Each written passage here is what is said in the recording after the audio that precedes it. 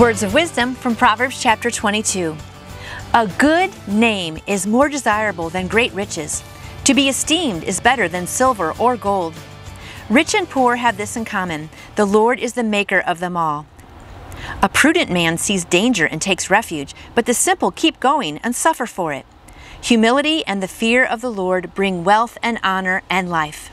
In the paths of the wicked lie thorns and snares, but he who guards his soul stays far from them. I love verse 6. Train a child in the way he should go, and when he is old, he will not turn from it. That's so good, I'm going to read that one again. Train a child in the way he should go, and when he is old, he will not turn from it. The rich rule over the poor, and the borrower is servant to the lender. He who sows wickedness reaps trouble, and the rod of his fury will be destroyed. A generous man will himself be blessed as he shares his food with the poor. Drive out the mocker, and out goes strife. Quarrels and insults are ended. That's a really good one, too. I like that one. He who loves a pure heart and whose speech is gracious will have the king for his friends.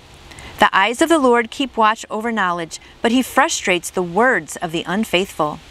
The sluggard says, There is a lion outside, or I will be murdered in the streets. The mouth of an adulteress is a deep pit. He who is under the Lord's wrath will fall into it.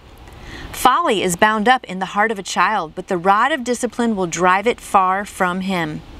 He who oppresses the poor to increase his wealth, and he who gives gifts to the rich, both come to poverty. Sayings of the Wise, verse 17. Pay attention and listen to the sayings of the wise. Apply your heart to what I teach, for it is pleasing when you keep them in your heart and have all of them ready on your lips. So that your trust may be in the Lord, I teach you today, even you. Have I not written thirty sayings for you, sayings of counsel and knowledge, teaching you true and reliable words, so that you can give sound answers to him who sent you?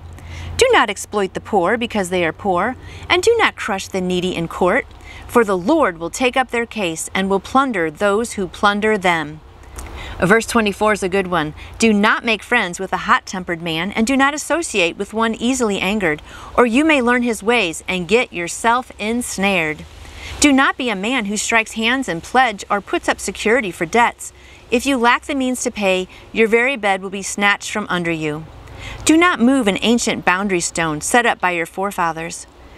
Do you see a man skilled in his work? He will serve before kings. He will not serve before obscure men. Some wise words from Proverbs chapter 22.